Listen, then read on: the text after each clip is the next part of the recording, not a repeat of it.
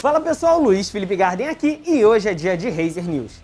Mais uma notícia sobre aquele jogo que não existe, mas parece que cada vez mais se torna uma realidade. É claro, eu tô falando de Elden Ring. Alguns trailers foram vazados e parecem mostrar um pouco de como vai ser o gameplay de Elden Ring. As imagens captadas não estão numa qualidade muito boa, parece que filmaram algo que estava passando numa tela, mas ao que tudo indica, são imagens reais. Diversas fontes confirmaram que de fato alguns trailers foram vazados, mas a From Software mesmo não confirmou nada. Elden Ring vai ser o jogo lançado pela From Software e feito em parceria com George Martin de Game of Thrones e não tem data para sair.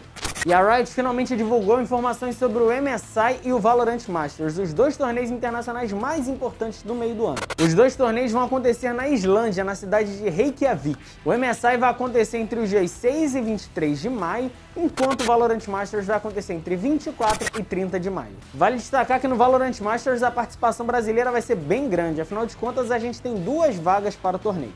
E uma notícia bem legal para você que é fã de jogos antigos da Square Enix. A Forever Entertainment anunciou que vai fazer alguns remasters dos jogos clássicos da empresa japonesa. Ela ainda não deu notícia de quais jogos devem ser contemplados e eu particularmente estou torcendo para um remaster de Parasite Eve. Enquanto esses remasters da Square Enix não são anunciados, uma notícia bem bacana para quem também gosta de outros remasters. A Forever Entertainment está trabalhando no remaster de Panzer Dragoon 2.